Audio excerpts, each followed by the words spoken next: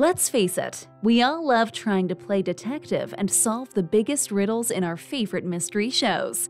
So in this video, we'll be talking about the 10 best mystery TV shows to binge watch. You'll want to stick around to the end to see which show will test your detective skills the most and possibly have you questioning your significant other. Before we dive in, make sure to like this video and subscribe to the channel. Let us know in the comments what mystery series are binge-worthy. Let's get started. Who Killed Sarah? Netflix. Sarah!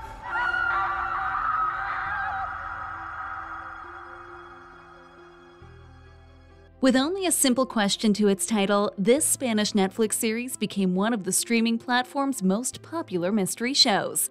After being framed and sent to prison for 18 years by the wealthy and powerful Lazcano family for his sister's death, Alex is released and sets out to discover the truth and get revenge. This message is for the Lazcanos. I'm not the same fool you sent off to prison 18 years ago.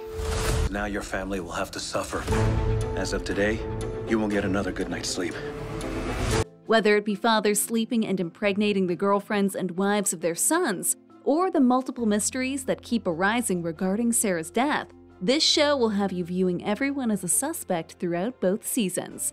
With the revelation in the season 2 finale that Sarah's death may actually be tied to a much larger conspiracy, fans are eagerly anticipating the release of the already confirmed third season. The Sinner, Netflix. Originally planned as a miniseries, The Sinner grabbed so much national attention after its first season, which starred Jessica Biel, that it became a hit anthology series with now four seasons. In each season, we see Detective Harry Ambrose, played by Bill Pullman, have to investigate and figure out why seemingly ordinary people would commit heinous murders. No interaction with him before today. I've never met him before in my life. Then why kill him? Whether it be a traumatized woman randomly stabbing a stranger to death in season 1, or a child from a cult being accused of murdering two people, each season will leave you shell shocked. While Detective Ambrose does a great job of leading the series as the main character, the real standouts are the new supporting casts in each season that manage to propel the story even more.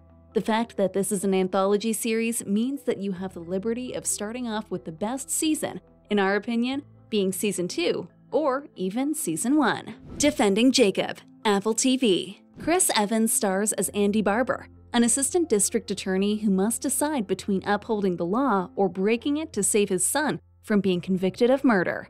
A book adaptation authored by William Landay, the series does a great job of differentiating itself that many fans say helped improve the story. The performance of Jaeden Martell was the highlight of the show, as his performance of the creepy Jacob Barber had viewers questioning his character's innocence after being connected to two brutal murders. The finale will have viewers split on choosing whether or not Andy's lack of empathy or emotions to a situation was an indicator of his guilt, or if he was just a social recluse. Joking about being a murder suspect? It's not like anyone even knows who it is. Everybody knows! How do you think I know? Andy, calm down. this is damaging. This is evidence. And you're either too stupid or too arrogant to know the I'm not stupid. Then what's wrong with you? This miniseries hit does a fantastic and realistic job of showing just how far parents are willing to go for their kids, even if they're suspected of murder. The Chestnut Man, Netflix. Based on the book written by Soren Sveistrup, this Netflix series follows two Danish detectives, Naia Thulin and Mark Hess, as they must try and stop a psychopathic serial killer who only kills unfit mothers and leaves behind a small doll made of chestnuts. The case takes a very dramatic turn when the fingerprints found on one of the dolls belonged to a politician's daughter who was abducted years ago and never found. The amount of mystery and intrigue that was in every episode is rare to find, especially in a noir series. As for the big reveal of the killer, we have to say that unless you are a true crime detective or crime junkie, the discovery will throw you for a loop. While the series may have the least amount of episodes on this list, with only six, it is by far the most disturbing show. Russian Doll, Netflix.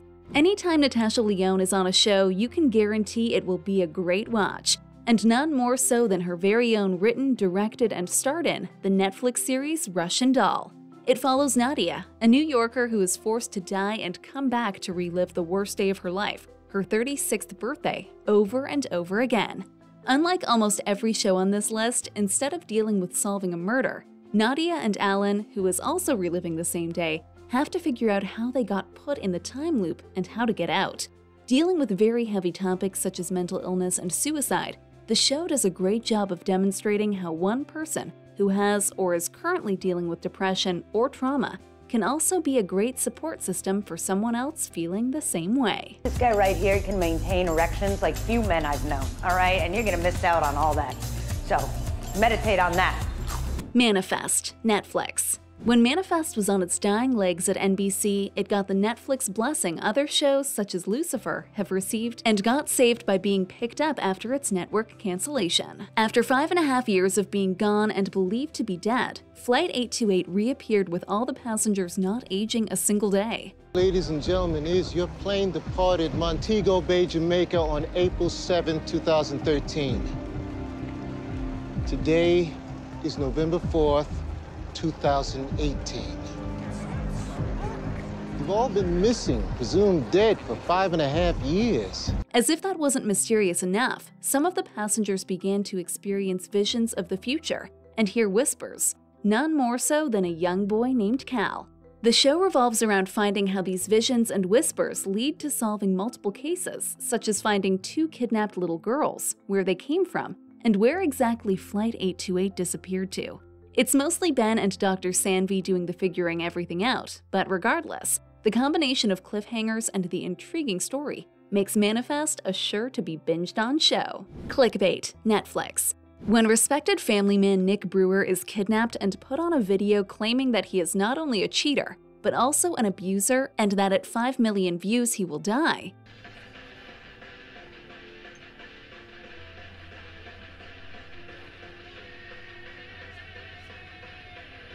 It's up to his family and detectives to piece together the whole truth.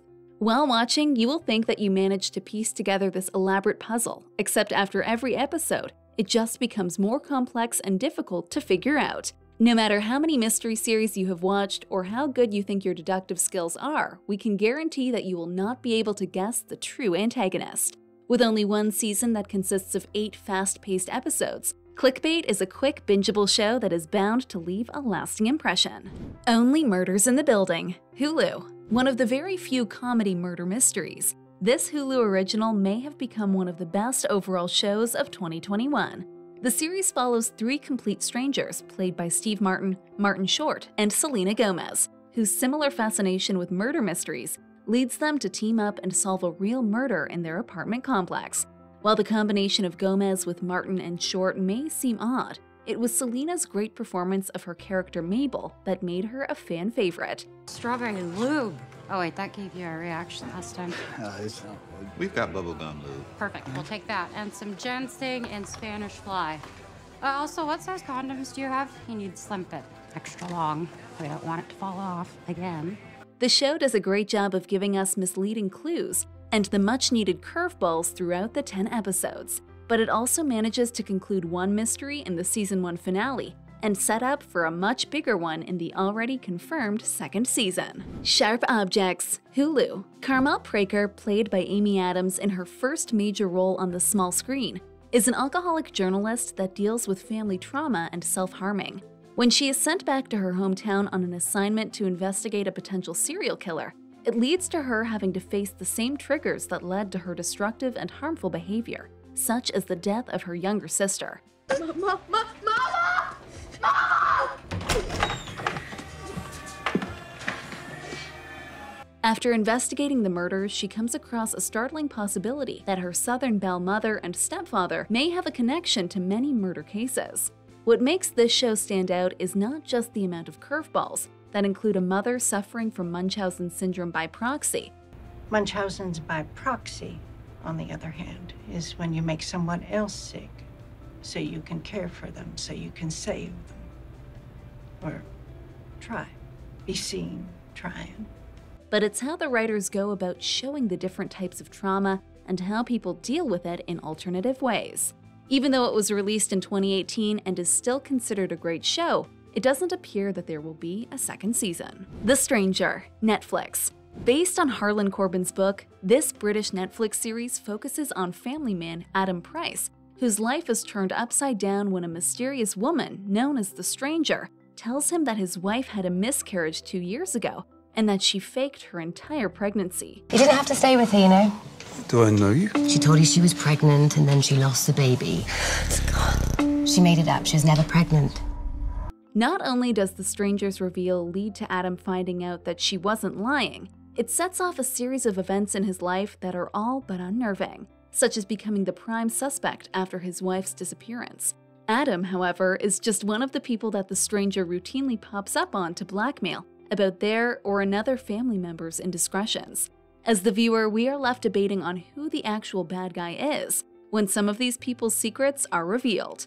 Penn Badgley's Joe Goldberg from You may hold the title for Best Stalker, but the stranger may just be the most destructive. Do you agree with our list? Check out these other videos from Idiot Box Review and be sure to subscribe and ring the bell to be notified when a new video is posted to the channel.